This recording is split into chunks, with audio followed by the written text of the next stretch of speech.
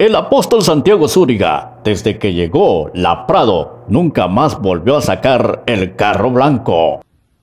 Tito, ¿y el carro blanco? Allá está. ¿No lo he vuelto a No sacar? lo he vuelto a sacar, pero ahorita voy a hacerlo. ¿Qué estará pasando? Hay muchos predicadores en Tocoa que se han declarado que quieren el carro del apóstol Santiago Zúñiga, el blanco.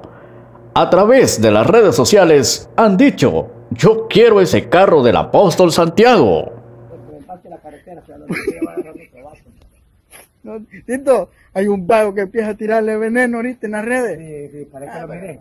No se mienta el nombre, No, no. Tito, son vagos. La gente se... se, se, se... No, no sé, pero... para Se que- ignora, se ignora. ¿Para qué tener ganas para su- Sí, hombre. Ya saben que están llenos la cabeza de pupú como el camarón. Están envenenados. Cuando miran esa frado, están envenenados. Así como lo oye. Al principio estaba diciendo que usted le iba a regalar el Hyundai, No, hombre, ese es para un hombre que... que se consagra morir.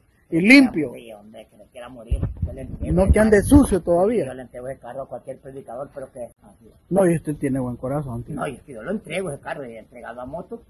No voy a entregar nunca. Usted tiene buen corazón. Y pues, Sí, porque me acuerdo que le regaló una moto a- al pastor, ¿va? ¿cuál pastor?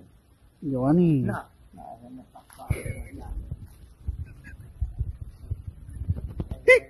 vicioso de la cocaína, cartas de marihuana, que es perro. No, Tito, pero usted, usted, Ah, pero comenzaba a conocerlo yo. ¿Ah? Arranque que lo miré yo, pensé que era un hombre que se quería morir predicando la verdad. será, Tito. Predicaba bien. Sí, hombre. Pero usted nunca le echó de ver. Nadie le eché de ver porque cuando se quitó la camisa un día la miré- lo miré todo tatuado. Y este harina en la nariz. Hasta la viva harina en la nariz. Pero ¿qué dijo usted, pues? No, yo ya sé, gracias a Dios, Ni de siempre, usted no ha cambiado. Así un hombre que ya se explica grande, todo tatuado, varón, que se tira tujo a diablo.